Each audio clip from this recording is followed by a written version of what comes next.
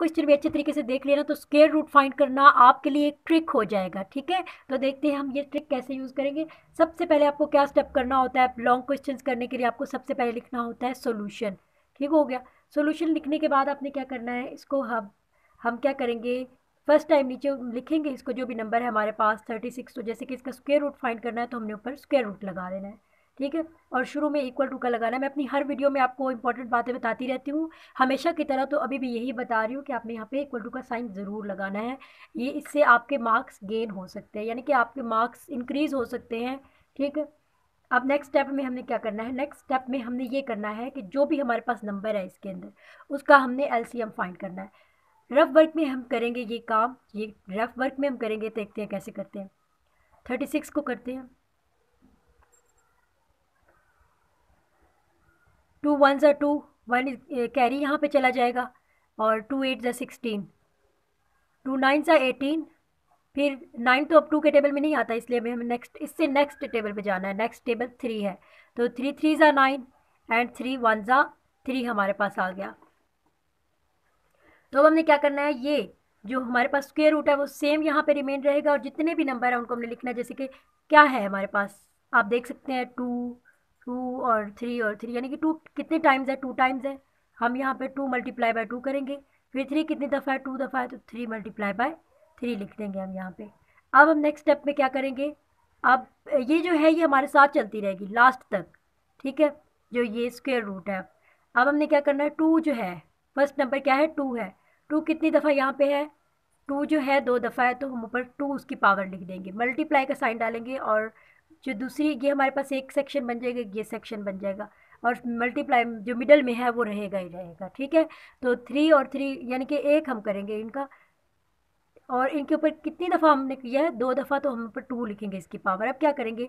अब इसको हम ऊपर से कैंसिल कर देंगे, इस टू को इसके साथ और इस टू को इसके साथ। तो अब हम इसे लिखते हैं। ज़ाहरी बात है, जब ये जो है, ये इसके साथ कैंसिल हो गया हमारे पास स्केयर रूट के साथ, क्योंकि स्केयर रूट, आप देखें दोनों लफ्ज़ मिलते जुलते हैं, square and root. Square root को एक स्केयर एक स्केयर को स्केयर रूट ही कैंसिल कर सकता है और कोई नंबर भी कैंसिल नहीं कर सकता। यहाँ पे स्केयर स्केयर को स्केयर रूट ने जो है, वो कैंसिल कर दिया है। इन दोनों स्केयर्स को, दोनों स्केयर्स को कैंसिल हो गया अब हमारे पास सिर्फ़ ये नंबर बचा है, टू एंड थ्री। तो टू मल्टीप्लाई बाई थ्री, ये बच गया, ठीक हो ठीक हो गया। थ्री टू ज़ा सिक्स, ये हमारे पास इसका आंसर है। आपने इस क्वेश्चन को देखने के बाद ऐसे छोड़ नहीं देना, आपने इसकी प्रैक्टिस भी करनी है। तो इसका सेकंड सेकंड पार्ट हमारे पास है। सिक्सटी फोर सिक्सटी फोर को भी हमने सेम यही मेथड फॉलो करके इसका आंसर लाना है हम लोगों ने। सॉल्यूशन सिक्सटी फोर को हम लिखेंगे ब्रैकेट सॉरी स्क्वेयर रूट के अंदर, शुरू में इक्वल टू का साइन लगाएँगे, इक्वल टू का साइन लग गया, ठीक हो गया। अभी हमने क्या करना है? सिक्सटी फोर को क्या करना है? हमने सिक्सटी फोर का एलसीएम लेना है। यहाँ पे लेते हैं हम सिक्सटी फोर का एलसीएम। तो एलसीएम लेने के लिए हमने क्या करना होता है? सबसे छोटी जो वैल्यू होती है ना, उससे हमें आगे जाना होता है। तो सबसे छोटी वैल्यू हमारे पास टू है। कौन सा नंबर है? कौन सा ऐसा टेबल है जो सबसे छोटी वैल्यू में आता है? तो वो टू है। टू थ्री ज़ा सिक्स और टू टू ज़ा फोर। टू वन ज़ा टू एंड वन कैरी गया टू सिक्स ज़ा ट्वेल्व। टू एट ज़ा सिक्सटीन। टू फोर ज़ा एट। टू टू ज़ा फोर एंड टू वन ज़ा टू। ये हमारे पास आ गया। अभी हमने इसका क्या करना है? यहाँ पे इसको लिखना है। ये मैं आपको लिख के बता देती हूँ इस तरह से।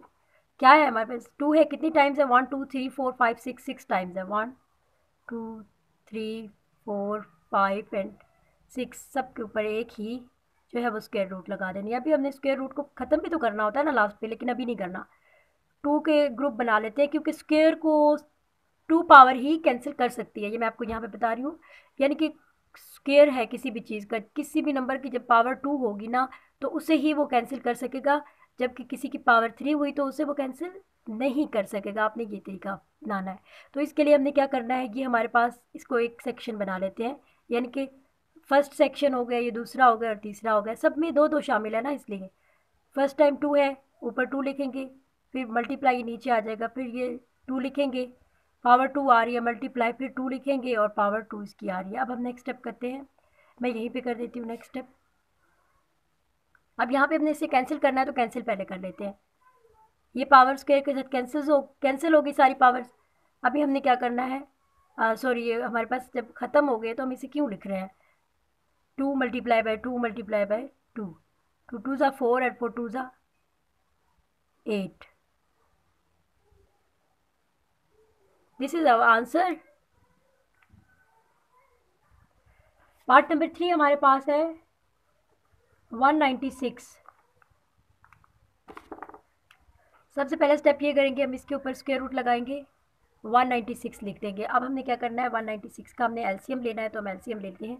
ये आपने स्टेप रफ वर्क में करना है, आपने नीट वर्क पे नीट पे ये स्टेप नहीं करना, आपने रफ वर्क पे करना है, ठीक है? 196 का अब हम लोग ले लेते हैं एलसीएम तो मैंने इसका एलसीएम लिया ताकि वीडियो जो है बहुत ज़्यादा लंबी ना हो जाए लेंथी वीडियो ना हो जाए, इसलिए आप लोग इसे करिएगा तो हो जाएगा, ठीक है? अब हम क्या करेंगे? अब इसका जो जितना भी लिखा हुआ है उसको लिख लेंगे। जो भी लिखे, जितने भी नंबर है, सब हमने लाइन वाइज लिखने हैं। Two multiply by two multiply by seven multiply by seven और यहाँ से स्टार्ट करना है और सब के ऊपर हमने स्क्वेयर रूट लगा देना है। अब हमने क्या करना है? टू कितने टाइम्स है? टू टाइम्स है। मल्टीप्लाई सेवन कितने टाइम्स है? टू टाइम्स है तो ऊपर टू लगा देना है। अब ये कैंसिल हो गए इससे और हमारे पास क्या बचा? Two multiply by seven. तो सेवन टू ज़ा फोर्टीन हमारे पास होता है तो ये इसका आंसर है। तो ये हमारे पास नेक्स्ट पार्ट है और इसका मैंने एलसीएम ले लिया है। एलसीएम लेने के बाद आपने क्या करना है? जो भी आपके पास नंबर है ना, पहला स्टेप आपने उसको इस तरह से लिखना है। नेक्स्ट आपने क्या करना है? आपके आपने ऊपर स्क्वेयर रूट लगाना है और अब हमने इसके अंदर जितनी भी वैल्यूज़ हैं, जितने भी नंबर्स हैं वो लिख लेने हैं। Two multiply by two multiply by three multiply by three multiply by three multiply by three. So अब हम क्या करेंगे? इन सबको कर लेते हैं। आ, इनको सेट कर लेते हैं ना। टू है उसकी power two multiply by three है उसकी पावर भी टू मल्टीप्लाई बाई थ्री है उसकी पावर भी टू ये टू क्यों लिखा है? क्योंकि जितने टाइम्स हमारे पास नंबर है उसको उतने टाइम्स हमने लिख लिया है। अब हमने कैंसिलेशन इनकी कर देनी है। और हमारे पास क्या बचा? Two multiply by three multiply by three अब आपके माइंड में आ रहा होगा कि ये ब्रैकेट नीचे क्यों नहीं सॉरी ये स्क्वेयर रूट नीचे क्यों नहीं आया? इसकी वजह ये है, क्योंकि हमने इसको कैंसिल कर दिया, अब ये नीचे नहीं आ सकता। तो अब हमने क्या करना है? इसे हमने ऐसे ही लिखना है।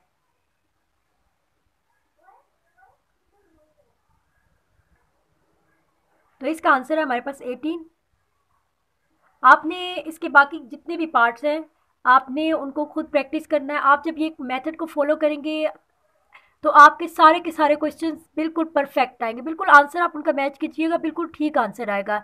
आपने बस इसी मेथड को फॉलो करके अपनी फुल एक्सरसाइज को सॉल्व आउट कर लेना है। अगर आप चाहते हैं कि इसका क्वेश्चन नंबर टू और नेक्स्ट पार्ट जितने भी मैं करवाऊँ और आप तक उसकी वीडियो पहुँचे तो आपने मेरे चैनल को सब्सक्राइब कर लेना है और बेल आइकन को भी प्रेस कर लेना है ताकि मेरी जो भी वीडियोज़ हों वो आप तक सबसे पहले पहुँच सकें। तो मिलते हैं नेक्स्ट वीडियो में, तब तक के लिए इजाज़त चाहती हूँ। अल्लाह हाफिज़। जाते जाते एक बात बताती चलूँ कि आपने इसकी प्रैक्टिस करनी है। एक क्वेश्चन को थ्री टाइम्स ज़रूर प्रैक्टिस करना है आपने। मैं अपनी हर वीडियो में ये बात आपको बताती हूँ कि practice practice practice. Math needs a lot of practice if you not do it practice so you will not achieve your goal so please practice ज़रूर कीजिएगा। थ्री टाइम्स ज़रूर प्रैक्टिस कीजिएगा। सो so, मिलते हैं नेक्स्ट वीडियो में। तब तक के लिए अल्लाह हाफिज़।